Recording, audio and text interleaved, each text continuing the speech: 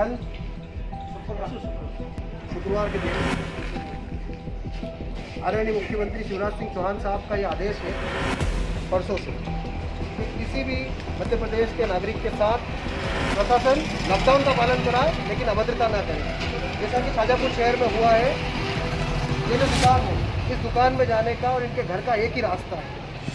इस समय परसों एडीएम मैडम ने अभी साहब को चाटा मारा।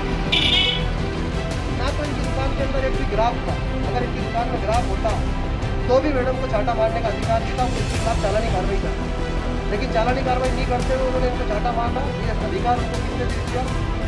ये जो चाटा उन्होंने मारा है, ये शाजापुर शहर के एक एक नागरिक को चाटा मारा है।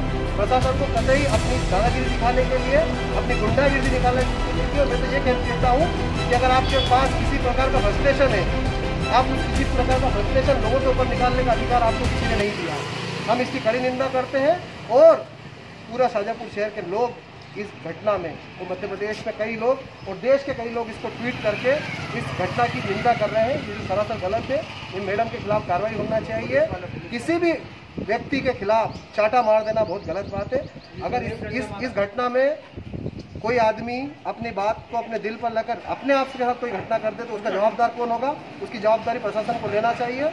मैं घटना की कड़ी निंदा करता हूँ माननीय मुख्यमंत्री जी से निवेदन करता हूँ कि जिस प्रकार छत्तीसगढ़ के मुख्यमंत्री जी ने छत्तीसगढ़ के कलेक्टर छत्तीसगढ़ के ज़िले के कलेक्टर को जिन्होंने एक रहवासी को चाटा मारा था उसे हटाया था उसी प्रकार से शाजापुर की एडीएम मैडम को भी तत्काल उनके पद से बर्खास्त करना चाहिए ये घटना निंदनीय है घोर निंदनीय है धन्यवाद पुलिस वाले पुलिस वाले